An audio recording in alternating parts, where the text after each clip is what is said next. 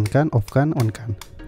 Baik teman-teman, di sini ada yang bertanya kepada saya, Kang, bagaimana caranya jika kita ingin mengubah saklar hotel ini pengen dipasang menjadi saklar tunggal saja? Bagaimana caranya? Karena infonya dia memiliki saklar hotel seperti ini tapi tidak terpakai, tapi pengen dipakai di lampu menjadi hanya satu lampu saja.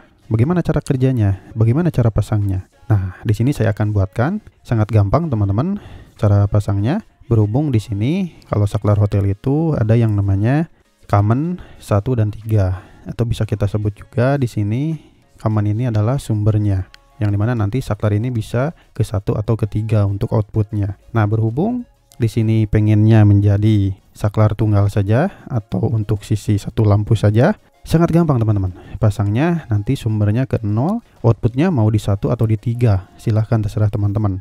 Nah, sekarang saya akan coba pasangkan bagaimana dari MCB-nya. Jadi di sini ada satu buah MCB.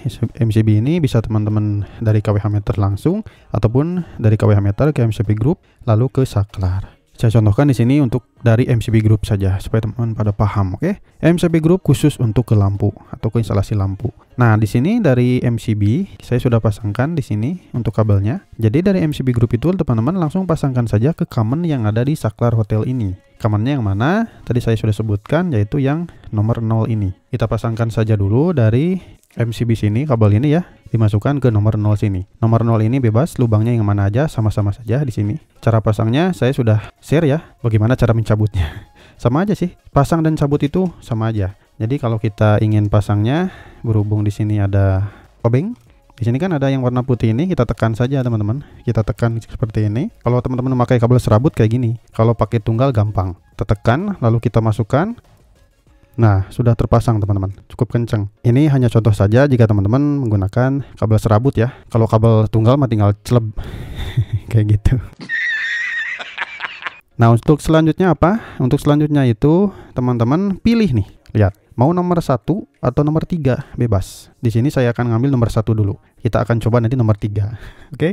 Supaya teman-teman pada paham. Jadi dari nomor satu ini hubungkan langsung ke lampu teman-teman, ke lampu yang sisi fasanya. Jadi dari nomor satu pasangkan ke lampu. Pasangnya seperti tadi, dicolokin dulu, lalu di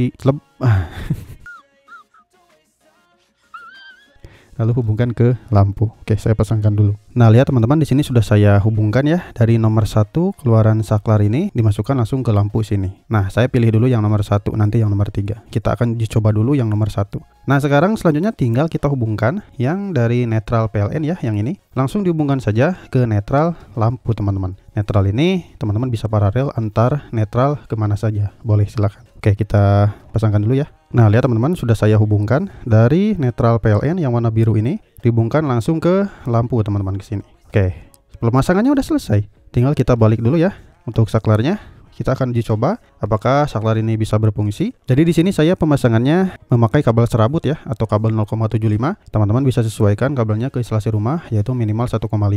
Karena di sini saya hanya untuk pembelajaran saja, maka dari itu saya menggunakan kabel 0,75. Dan di sini juga untuk pemasangannya saya terbuka teman-teman. Tidak memakai pipa tidak memakai apa-apa gitu. Supaya teman-teman kelihatan jalurnya untuk pemasangannya seperti ini. Tapi kalau teman-teman memasang secara real atau di tembok ya teman-teman bisa menggunakan kabel yang 1,5 dan bisa secara lebih fakta dan real gitu untuk pemasangannya yaitu seperti ini.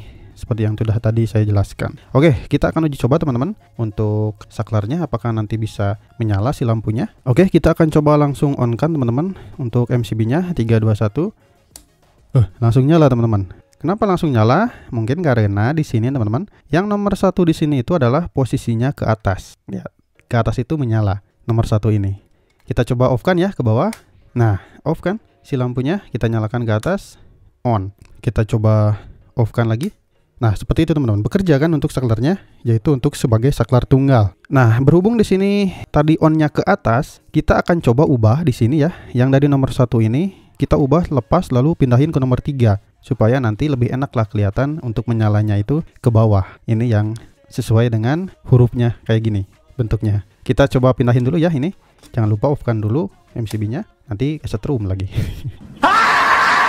kita coba lepas. Lepasnya gampang, tinggal kita tekan saja di sini. Nah, kita tekan lalu cabut. Udah, segini aja. Lalu kita pindahin ke nomor 3 seperti biasa. Kita coba tekan lagi. Lalu kita masukkan. Celup. Ah, enak. Nice. Oke, kita coba balik saklarnya. Kita akan dicoba lagi ya. On kan untuk MCB-nya 321. Nah, sekarang ke atas itu mati, teman-teman. Tadi nyalakan, sekarang mati. Menyalanya gimana? Nyalanya ya tinggal on kan ke bawah. Nah, lihat. Menyala kan? Kita off kan? Mati. Kita on kan? Nyala. Nah, seperti itu teman-teman. Untuk penggunaannya, teman-teman bisa ambil yang nomor satu atau yang nomor tiga. Kalau di sini sih cocoknya nomor tiga ya, karena onnya ke bawah. Kita off kan? On kan? Off kan? On kan? Oke, seperti itu teman-teman. Mudah-mudahan bermanfaat dengan apa yang saya jelaskan. Terima kasih. Ditunggu untuk video saya yang selanjutnya.